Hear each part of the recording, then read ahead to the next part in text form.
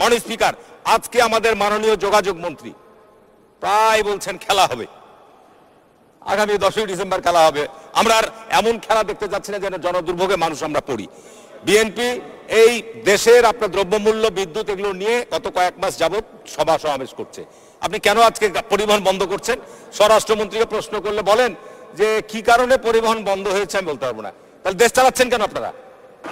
বলছি, আমি বলছি খেলা হবে খুনের রাজনীতির বিরুদ্ধে। খেলা হবে সন্ত্রাসের বিরুদ্ধে। খেলা হবে আগুন সন্ত্রাসের বিরুদ্ধে। খেলা হবে দুর্নীতির বিরুদ্ধে। খেলা হবে লুটপাটের বিরুদ্ধে। একটা নয়, দুটা নয়, একের পর এক উপর্যুপরি আগামী পাঁচ তারিখে আপনার বরিশালে সমাবেশ। দেখলাম লঞ্চ বন্ধ, থ্রি হুইলার বন্ধ, বাস বন্ধ, ট্রেন বন্ধ, সবকিছু বন্ধ। এতে এর ফলশ্রুতিতে যে জন অসন্তোষ তৈরি হচ্ছে এটি মাননীয় স্পিকার কল্পনা করা যায় আমি মনে করি এখানে মাননীয় যোগাযোগ মন্ত্রী আছেন। দয়া করে জনদুর্ভোগ লাঘবে কার্যকর পদক্ষেপ জনদুর্ভোগ আর বাড়ায়েন না। জনদুর্ভোগের পরে যে জন অসন্তোষ তৈরি হচ্ছে এই জন অসন্তোষের কারণে কিন্তু ভয়াবহ একটা পরিস্থিতি তৈরি হবে। ধন্যবাদ, আমি মনে করি- আমি মনে করি এটার ব্যাপারে সরকার কার্যকর পদক্ষেপ নেবে। আর সবার সঙ্গে রাজনৈতিক সংস্কৃতিতে ফিরে আসুন। রাজনৈতিক সংস্কৃতিতে ফিরে আসুন। দীর্ঘদিন যাবত বিরোধী দলকে যে সভা সমাবেশ করতে দেন না সেই জায়গায় একটা শান্তিপূর্ণ পরিবেশ ফিরিয়ে নিয়ে আসুন। মাননীয় স্পিকার আমাকে সময় দেওয়ার জন্য ধন্যবাদ। আমি মনে করি খেলা বন্ধ করুন খেলা বন্ধ করে সত্যিকার অর্থেই দেশকে একটি গণতান্ত্রিক পথে নিয়ে যাওয়ার পদক্ষেপ গ্রহণ করুন। মাননীয় মাননীয় যোগাযোগ মন্ত্রী জনাব ওবায়দুল কাদের।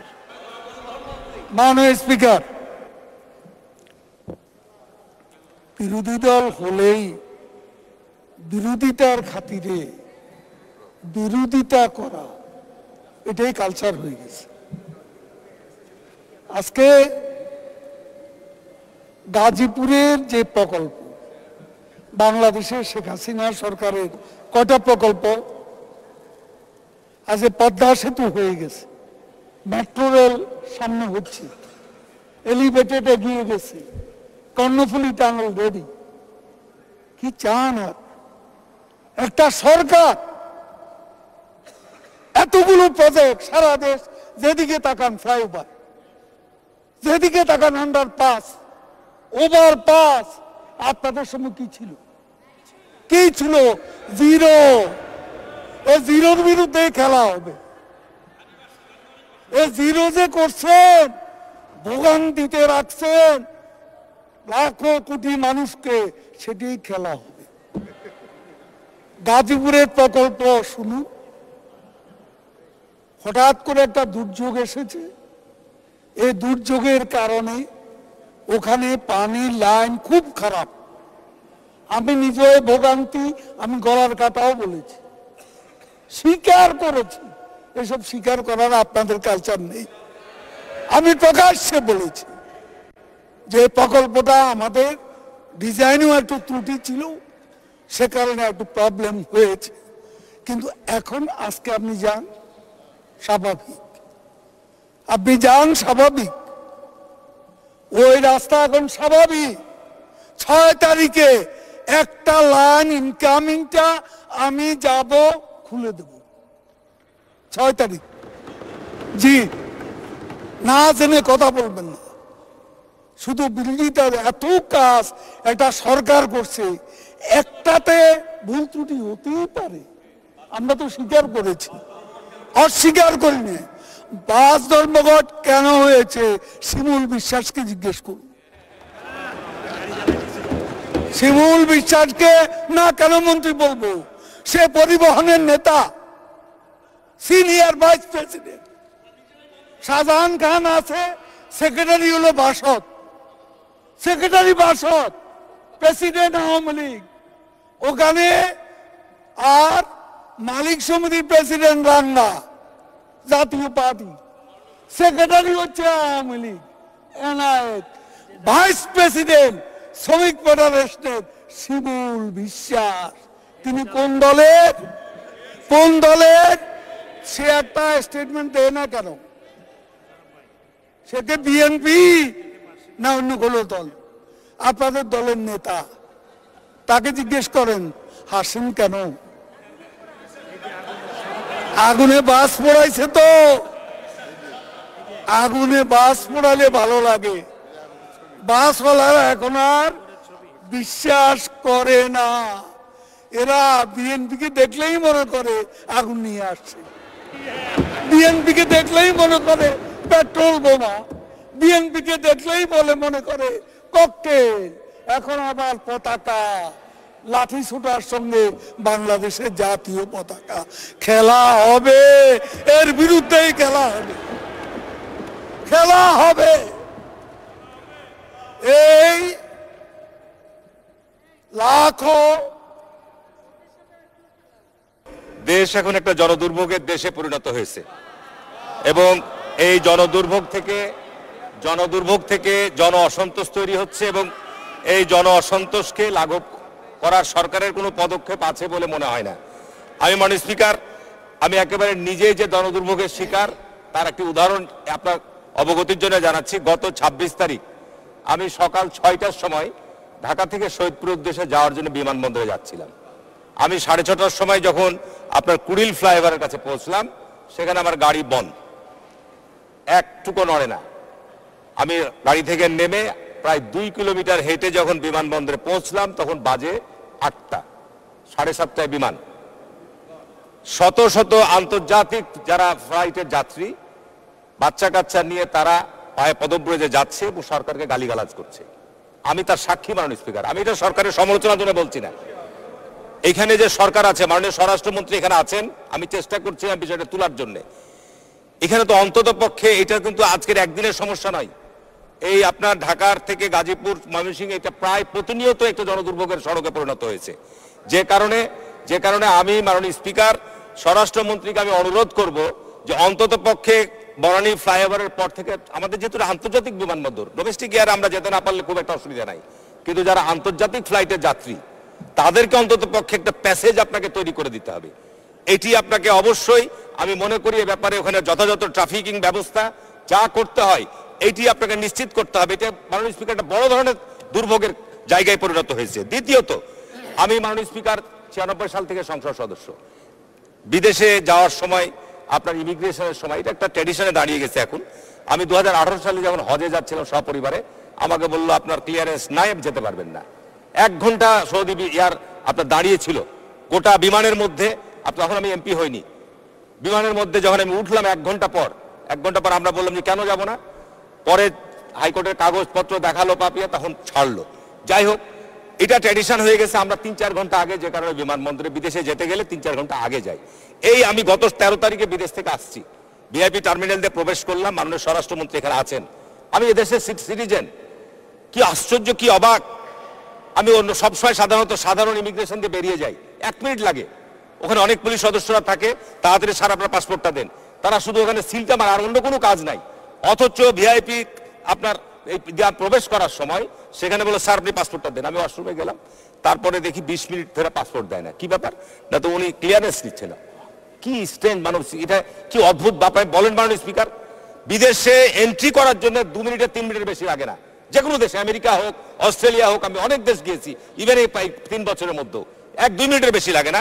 অথচ আমি নিজের দেশের সিটিজেন আমি এমপি বাদি দিলাম। দেশে ঢুকার সময় আমাকে কেন বিশ মিনিট এয়ারপোর্টে অপেক্ষা করতে হবে? আমার শুধু পাসপোর্টে সিল মারার জন্য। আমি আগে আপনার কাছে প্রশ্ন করছি, মাননীয় স্পিকার, আপনার মাধ্যমে গতকালকে প্রশ্নোত্তর পর্ব ছিল। এবং সেখানে আমি কিন্তু প্রশ্নোত্তর পর্বে অংশগ্রহণ করেছি। ওনাকে সুনির্দিষ্ট কিছু প্রশ্ন করেছিলাম। একটিরও উত্তর পাইনি মাননীয় স্পিকার। তাহলে এই প্রশ্ন উত্তর পর্ব কেন আপনি রাখবেন? মন্ত্রীরা যদি শুধু আপনার এই ধরনের দীর্ঘ বিবৃতি চালায় প্রশ্নের উত্তরের ধারে কাছেও না আসে। তাহলে মাননীয় স্পিকার, আমাদের প্রশ্ন উত্ত- অর্থটা কি মাননীয় স্পিকার? আমি যে কারণে মাননীয় স্পিকার, আপনার মাধ্যমে মাননীয় মন্ত্রীকে বলব যে দয়া করে আপনি হাতে কলম নিন। বিলের উপর আমি যে কতগুলো প্রস্তাব, যেহেতু আপনি আলোচনার সময় বলেছেন, প্রস্তাবে রাজি আছেন, আমাদেরকে এই প্রশ্নগুলো উত্তর আপনি দিবেন। প্রথমত, আজকে আপনারা গ্যাস উত্তোলন এবং খনিজ সম্পদ অনুসন্ধানের ক্ষেত্রে অনীহা কেন? Number one. দ্বিতীয় প্রশ্ন হচ্ছে যে আজকে এই জ্বালানি খাতের দুরবস্থার জন্য আমদানিকৃত এনএলজির যে নির্ভরতা বৃদ্ধি করেছেন এটার জন্য দায়ী কিনা? আজকে দেশে এত ওভার ক্যাপাসিটির আপনি বিদ্যুৎ উৎপাদন করছেন এরপরও কেন ভারত থেকে আপনি বিদ্যুৎ আমদানি করার জন্য এত ব্যাপক বিপুল অর্থ ব্যয় করছেন? এক মিনিট। লেখছেন না কিন্তু মাননীয় স্পিকার উনি কিন্তু এটার উত্তর একটাও দিবেন না। আমি অনুরোধ করব এই- এই প্রশ্নের উত্তরগুলো আপনাকে দিতে হবে।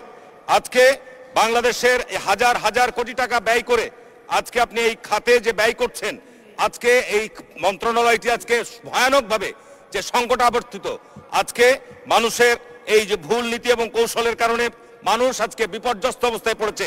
শিল্প কারখানায় বিদ্যুৎ পাচ্ছে না, আজকে মানুষ বাসাবাড়িতে বিদ্যুৎ পাচ্ছে না, আজকে আপনার যে ব্ল্যাক আউট আপনি এই সরকারের ক্ষমতাকালীন সময়ে তিনবার ব্ল্যাক আউট হয়েছেন। আপনারা দু হাজার চোদ্দ সাল দু হাজার সতেরো সাল এবং আপনার এই এই গত চৌঠা অক্টোবর। সারা দেশ অন্ধকার হয়ে গেল। কি কারণ অন্ধকার হয়েছে? কিসের ঘটনা কি? এই বিষয়গুলো কিন্তু আপনি সুনির্দিষ্টভাবে জাতিকে কোনো স্পষ্ট করেন নাই। এই বিষয়গুলো আজকে আপনাকে অবশ্যই অবশ্যই স্পষ্ট করতে হবে।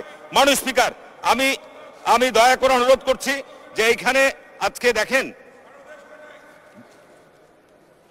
দু হাজার চোদ্দ সালের কথা ভুলে গেছেন? দু হাজার সতেরো সালের কথা ভুলে গেছেন?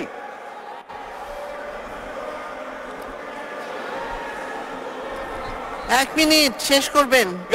মাননীয় মন্ত্রী কিন্তু কালকে একটা কথা বলেছেন, গ্যাস চুক্তি। আজকে উনি এনেছেন কিনা গ্যাস চুক্তি বা বিএনপির সঙ্গে কার গ্যাস চুক- সরবরাহ চুক্তি হয়েছিল, সেটি উনি সংসদে উপস্থাপন করবেন। মাননীয় স্পিকার, শোনা কথা প্রচার করা, এটা এটা বড় ধরনের আপনার অত্যন্ত নিন্দনীয় একটি অভ্যাস, স্বভাব। যে ব্যক্তি কোনো কথাকে মিথ্যা জানিয়াও অপপ্রচার করে, সে বড় ধরনের মিথ্যাবাদী। সুতরাং আমি মাননীয় মন্ত্রী, মন্ত্রীর কাছে আমি জানব যে বাংলাদেশে আজকে পঁচিশ হাজার মেগাওয়াট বিদ্যুৎ উৎপাদন করলেন সর্বোচ্চ পরিমাণ পনেরো হাজার মেগাওয়াট উৎপাদনে গিয়েছেন। সঞ্চালন line distribution line transmission line, আপনার সংযোগ লাইনগুলোর অবস্থা, বেহাল অবস্থা রেখে এত বিপুল পরিমাণ ব্যয় করে যে আপনি বিদ্যুৎ উৎপাদন বাড়ালেন, এই বেহাল দশা। আজকে অর্ধেক পরিমাণ বিদ্যুৎ স্টেশন বসিয়ে রেখে আপনাকে ক্যাপাসিটি চার্জ দিতে হবে। এই গত দশ পনেরো বছরে আপনারা ক্যাপাসিটি চার্জ বাবদ কত টাকা দিয়েছেন? এই বিষয়গুলি দয়া করে আপনি জানাবেন যেহেতু এর পরবর্তীতে আপনার কাছে শোনার পরে উত্তর আমি কথা বলব। অনিত ভাই, আপনাকে ধন্যবাদ। ধন্যবাদ মাননীয় সদস্য। মাননীয় সদস্য রুমিন ফারহানা মহিলা আসন পঞ্চাশ। দুই মিনিট। মাননীয় মন্ত্রী জনমত যাচাই বাছাইয়ের উপর আলোচনা করতে পনেরো মিনিটের অধিক বক্তব্য দিয়েছেন। এবং আমি আবারও আপনার মাধ্যমে বলছি যে গতকালকের আমার প্রশ্নের উত্তর আজও পাইনি। আজকে আমি যে বিষয়গুলো ওনার দৃষ্টি আকর্ষণ করি, সেগুলোও কিন্তু উনি উত্তর এড়িয়ে গেছেন। আমি আশা করব আমাদের সংবিধানে মন্ত্রী পরিষদের সদস্যরা সংসদের কাছে জবাবদিহি করতে বাধ্য। এ ব্যাপারে অবশ্যই আপনি জবাব দিবেন। দায়মুক্তি আইনে কি বলছেন মাননীয় স্পিকার? বিদ্যুৎ, জ্বালানি দ্রুত সরবরাহ বৃদ্ধি বিশেষ বিধান সংশোধন আইন দু হাজার একুশ। এই আইন অনুযায়ী বিদ্যুতের জন্য জ্বালানি, আমদানি অথবা বিদ্যুৎ কেন্দ্র স্থাপন অথবা বিদ্যুৎ ও জ্বালানি খাতে অন্য কোনো কার্যক্রম, গৃহীত কোনো ব্যবস্থা, আদেশ বা নির্দেশ, বৈধতা সম্পর্কে কোনো আদালতের কাছে কোনো প্রশ্ন উত্থাপন করা যাইবে না। এরকম একটা দায়মুক্তি দীর্ঘ পনেরো বছর যাবৎ চালু রেখে আপনি এই বিদ্যুৎ জ্বালানি সেক্টরের জন্য এই আইন তৈরি কি কল্যাণে আসবে? আমি ওনার কাছে প্রশ্ন করেছিলাম। আর অবশ্যই আমি আমার কাছে তথ্য তালিকা আছে। আমি আপনার মাধ্যমে আবারও দাবি করছি, উনি সম্মত হয়েছেন। আমি উনার দপ্তরে নয়, গোপনে কোনো আলোচনা নয়।